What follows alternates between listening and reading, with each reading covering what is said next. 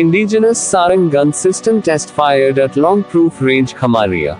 Long Proof Range LPR Khamaria successfully conducted study of pressure waves from indigenously designed Sharang 155 mm 45 caliber artillery gun system.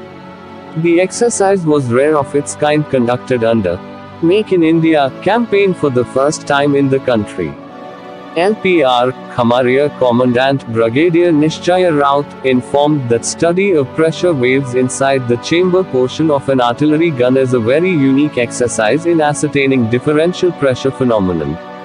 The difference of breech face pressure and shot base pressure is called differential pressure and it should be always positive. Pressure at these two exact locations cannot be measured using conventional pressure measurement system. For this special sensors are to be fixed at exactly the above locations. Brigadier Raut informed that the barrel affixed with sensors is called instrumented barrel. Ordnance Development Center has designed such barrels for Sharang and Dhanush guns where pressure versus time data is recorded on real-time basis during firing of each round.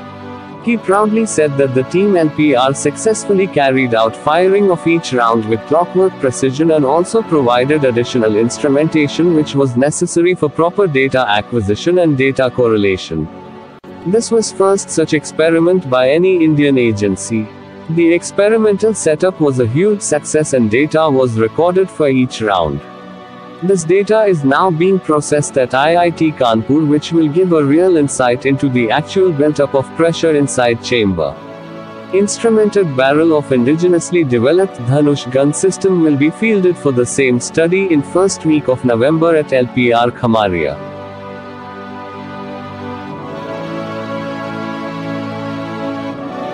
Thanks for watching Military World Update. Please do not forget to subscribe.